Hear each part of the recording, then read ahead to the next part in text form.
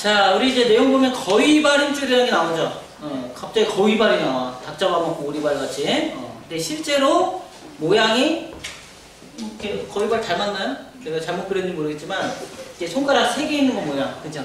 이게 거위발이 또 생겼잖아요, 그지? 어. 약간 이제 힘줄이다 보니까 약간 납작하니까 뭐 이렇게 물갈퀴 같이도 생겼고 이제 거위발임줄이라고 하는데 자 봅시다.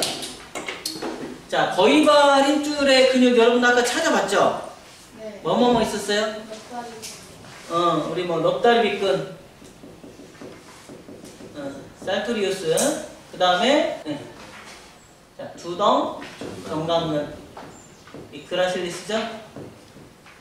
그 다음에 또 하나가 반 이게 또 여러분 늘 헷갈리는 게 반만큼 나도 나도 계속 헷갈리거든 간, 사- 간혹 사실. 그러니까 반 힘줄근이냐 반막근이냐 해서 뭐야? 반막근이 아니라 반힘줄근입니다 반힘줄근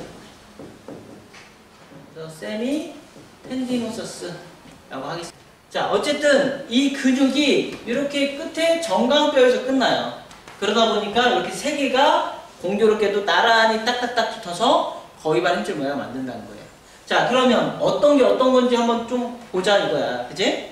자 지금 여기가 무릎뼈니까 여기 앞쪽이겠죠? 어, 그 다음에 뒤쪽이겠네 어. 자 그러면 자 일단은 가장 뒤쪽에 있는 게 뭘까? 당연히 뒤쪽으로 이렇게 내려오니까 가장 뒤쪽에 있는 근육이겠죠? 뭐겠어? 응, 햄스트링이겠지. 그러니까 햄스트링이니까 이게 자 가장 뒤쪽에 있는 근육이 반힘줄근이잖아요, 그죠? 어, 그래서 이게 반힘줄근. 됐습니까? 정강뼈 안쪽으로 가요. 어, 정강뼈 안쪽으로 와서 안쪽에서 세 개가 만납니다. 어. 자, 그래서 왜냐면 넙다리 밑근도 이렇게 지나가고, 그죠? 다 이렇게. 자, 그 다음에 얘가 우리 아까 반 힘줄도 안쪽이었죠? 어, 안쪽이고. 자, 그 다음에 두덩정강근은 어때요? 두덩정강근은 안쪽으로 이렇게 그대로 내려오죠. 그래서 얘가 중간. 오케이? 그 다음에 넙다리 비끈은 가쪽에서 돌아서 안쪽으로 오죠. 그러니까 가장 앞쪽이겠지. 맞아요?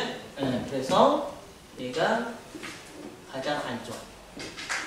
어, 그래서 우리가 이 세 개의 이름도 당연히 알아야 되지만 위치도 그죠? 어디서부터 앞, 중간, 뒤 이 정도의 위치도 근데 뭐 생각하면 금방 나와 뒤쪽, 안쪽, 앞에서 돌아오는 애 세 개.